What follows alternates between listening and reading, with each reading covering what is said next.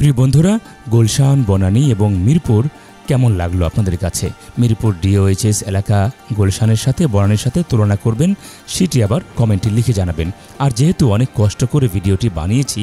একটা সাবস্ক্রাইব তো আপনাদের কাছ থেকে আশা করতেই পারি